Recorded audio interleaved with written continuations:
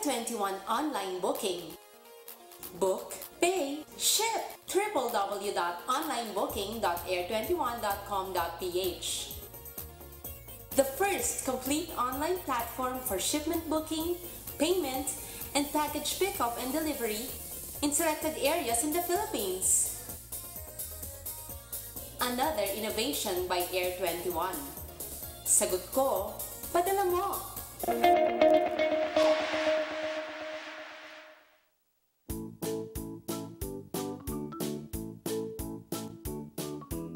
Alam mo ba na ang ikalima at kauna-unahang Pilipino na naging Pangulo ng World Meteorological Organization ay si Roman Lucero Quintanar? Si Quintanar din ang pinakabatang direktor ng pag-asa sa edad na 20 at nagsilbi siyang pinuno nito sa loob ng 36 na taon. Noong 2007, bilang pagkilala sa kanyang naiambag sa larangan ng meteorology, ginawaran siya ng dating Pangulong Arroyo ng Philippine Legion of Honor with the rank of Grand Officer. Habang ipinangalan naman sa kanya ng International Astronomical Union ang isang asteroid sa pagitan ng Mars at Jupiter. Tinawag itong 6636 Quintanar. Ngayon, alam mo na!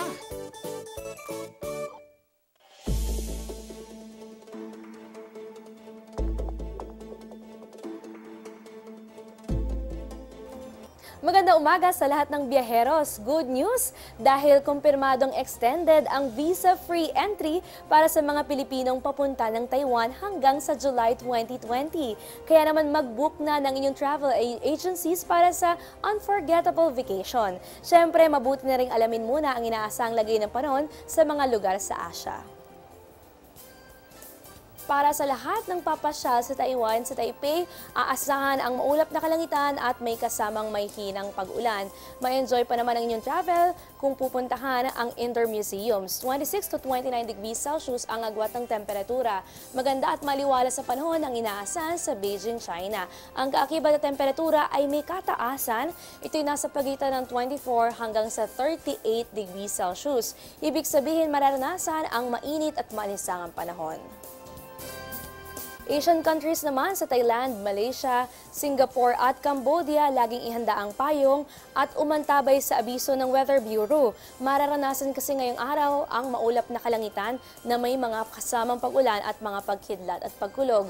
Mababa naman ang tsansa ng pag-ulan sa bansa ng Indonesia. 26 to 32 degrees Celsius ang agwat ng temperatura. Sa Myanmar, mararanasan ang posibilidad na may hinang pag-ulan. Mas magiging maulan naman ang panahon sa Vietnam, Brunei at pati na rin sa Lao PDR. Kung lalabas ng bahay, laging dalhin ang inyong pananggas sa ulan. Mas lawakan pa natin ang forecast sa iba't ibang panig ng mundo. Para dito sa Rome, foggy weather condition, 21 to 34 degrees Celsius ang agwat ng temperatura. Napakaganda na magiging panahon sa Madrid, Paris, London at pati na rin sa Berlin. Siguradong magiging masaya ang inyong European adventure sa USA and Canada para sa lahat na magse-celebrate ng American Independence sa Washington, D.C. Laging dalhin ang payong dahil maranasan ang maulap at maulang panahon. Sa Los Angeles naman, Alberta at pati sa Ottawa, pangkalahatang maaliwalas na panahon. Sa Australia, pati na rin sa New Zealand, mababang posibilidad ng mga pag-ulan sa Melbourne. Ihanda naman ang payong dahil malalakas na buhos ng ulan ang iiral sa Wellington at sa Auckland. Ang kaakibat temperatura dahil maulan ng panahon ay nasa pagitan ng 3 hanggang sa 17 degrees Celsius. Sa Asia at pati na rin sa Middle East sa Dubai, 30 to 41 degrees Celsius. Napakataas ng temperaturang inaasahan, kaya naman uminom ng maraming tubig para maiwasan ang dehydration. May sandstorm sa Kuwait, kaya kung walang importanteng gagawin sa labas ng bahay, better to stay indoors. 35 to 45 degrees Celsius ang inaasang temperatura. May posibilidad naman na may hinang pagulan sa New Delhi sa India.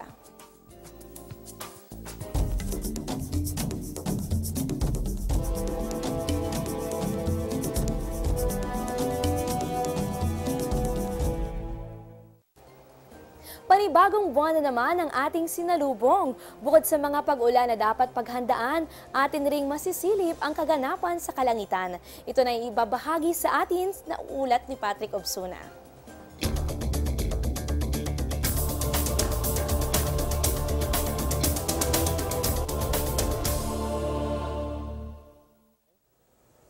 Alam niyo ba na ang buwan ng Hulyo ay pinangalan kay Julius Caesar, isang Roman dictator noong unang panahon, na siya rin dahilan kung bakit nagawa ang Julian Calendar, ang kalendaryong ginagamit natin sa kasalukuyan na may labing dalawang buwan. Bukod sa trivia na yan, narito naman ang iba pang astronomy trivia at mga kaganapan sa kalangitan na dapat abangan ngayong buwan ng Hulyo. Sa darating na ikasyam ng Hulyo, magaganap ang Saturn at opposition. Sa pagkakataong ito, ang planetang kilala sa pagkakaroon ng tila singsing na nakapaikot dito ay nasa pinakamalapit na distansya mula sa ating mundo. Dahil dyan, mas maliliwanagan ito ng araw na siyang perpektong pagkakataon upang pagmasdan ito ng mas detalyado. Makikita rin dito ang ilan sa kanyang maliliwanag na buwana katulad ng Titan at ng Rhea. Kaiba sa ating mundo, ang surface nito ay binubuo ng iba't ibang gas chemicals, habang mayroon naman itong 62 buwan. Sa sumunod na linggo naman, July 16, magaganap ang partial lunar eclipse. Nagaganap ito kapag ang ating buwan ay daraan sa penumbra o ang bahagyang anino ng ating mundo at kakonting bahagi lamang nito ang daraan naman sa umbra o ang darkest shadow mula sa liwanag na tinatakpan ng mundo. Habang nagaganap ito, may kita ang isang bahagi ng buwan ay didilima. Sa kasamaang palad, may kita lamang ito sa malaking bahagi ng Europa, Africa, Central Asia, at ng Indian Ocean. Noong unang panahon, kapag nagaganap ang isang eclipse, naniniwala ang mga katutubo na kinakain ni Bakunawa, isang serpent-like dragon, ang ating araw o buwan. At kung may kahilingang gustong makamit, bakit di mo subukang mag-wish sa mga bituin? Dahil sa darating na ika-28 at siyam ng Hulyo, magaganap ang peak ng Delta Aquarids Meteor Shower. Tumingala lamang sa kalangitan at hanapin ang constellation na Aquarius dahil inaasahan ng 20 meters per hour ang maaaring makita. Nagaganap ito dahil sa mga debris na naiwan ng pagdaan ng kometang Marsden at Crutch. Magandang balita dahil ang madilim na buwan ay hindi makaapekto sa astronomical phenomena na ito. Magandang pagmasdan ito malayo sa syudad kung saan hindi gaanong maliwanag ang kalangitan. At yan ang mga kaganapan sa kalangitan ngayong buwan. Para sa Panahon TV ako si Patrick Obsuna. Magandang araw.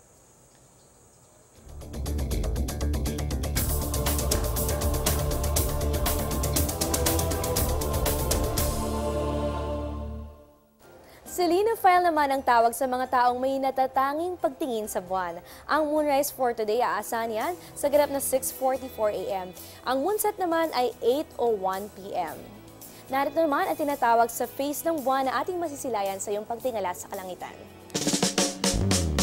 Tinatawag ding young moon ang isang waxing crescent moon.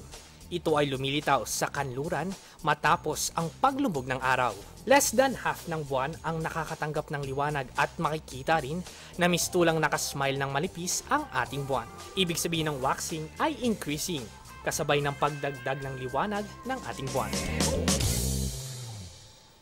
May kinalaman din naman ang iba't ibang phases ng buwan sa pagtaas o pagbaba ng level ng tubig sa dagat o yung tinatawag nating tidal variations. Base sa datos ng NAMRIA, tataas ang tubig dagat ng 144 meters sa ganap na 10.19 a.m.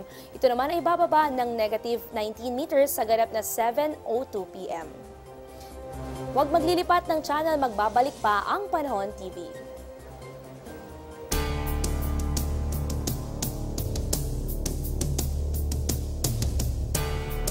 Mga dapat dalhin ngayong panahon ng tag-ulan. Laging magbitbit ng payong at raincoat. Magsuot ng waterproof na bota upang maproteksyonan ng paa sa baha. Magdala ng towel para may pamunas kapag nabasa ng ulan. Mahalaga ang first aid kit para maibsan ang karamdaman o maiwasan ang mas grabing pinsalang dulot ng aksidente. Tandaan, tuwing panahon ng tag-ulan, iba yung pag-iingat ang kailangan.